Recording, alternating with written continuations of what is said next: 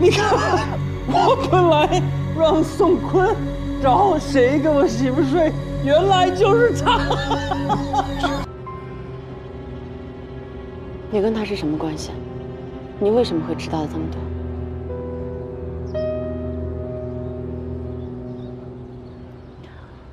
我是第一个相信他被换脸的人，他很信任我，我留在这里，也是为了帮他找到给他换脸的那个人，让他回到以前的生活。你心里边有鬼！你心里边有什么鬼？我没鬼，你懂什么？我他妈对你这么好，你举报我呀，潘启文的！我举报你？我为什么要举报你？因为王小爱